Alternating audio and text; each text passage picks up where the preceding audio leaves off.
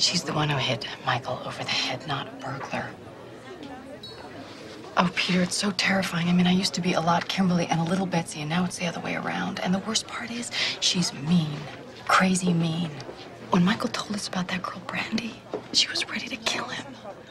I don't know what to do. I love Michael. And what if I hurt him? God help me if I hurt him. Kimberly, I want to check you into facility immediately before this gets more out of control. Part of me. The Kimberly part. I was hoping that's what you suggest.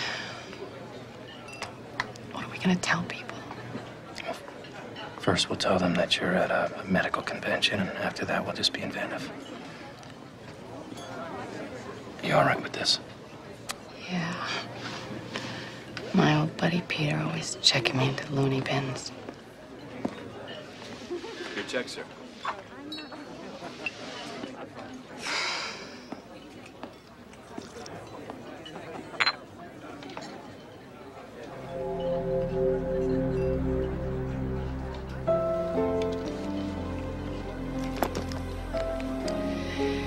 I just have to powder my nose and then we'll be off. I'll wait outside.